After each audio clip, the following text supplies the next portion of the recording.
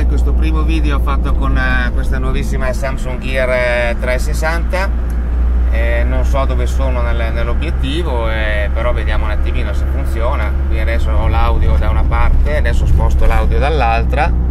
E nel frattempo io sono sempre qui nella stessa posizione. Quindi appoggiamo l'aggeggino e schiacciamo stop eh,